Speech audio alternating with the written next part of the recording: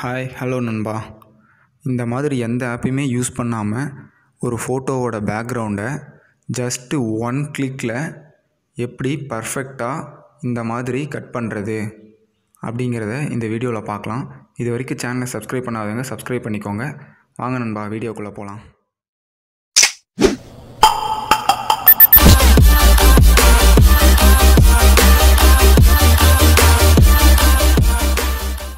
உங்கள் மொபைலில் கூகுள் க்ரோமை ஓப்பன் பண்ணிக்கோங்க. கூகுள் க்ரோம் ஓப்பன் பண்ணிவிட்டு அதில் கூகுள் ஓப்பன் பண்ணிக்கோங்க.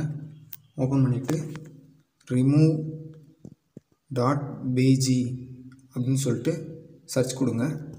ஃபஸ்ட்டாக ஒன்று வரும் பாருங்கள் ரிமூவ் டாட் பிஜின்னு அதை கிளிக் பண்ணிக்கோங்க.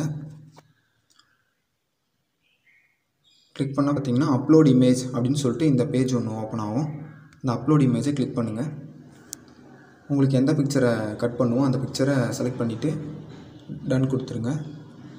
அப்லோட் ஆகும். ஒரு டூ செகண்ட்ஸ் தான்.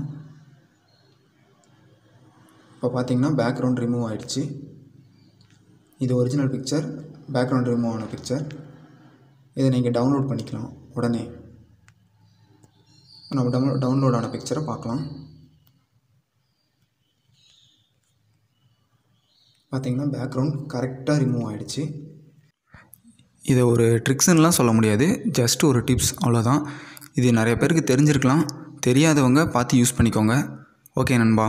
இந்த வீடியோ உங்களுக்கு யூஸ்ஃபுல்லாக இருந்துச்சுன்னா லைக் பண்ணுங்கள் கமெண்ட் பண்ணுங்கள் ஷேர் பண்ணுங்கள் தேங்க்யூ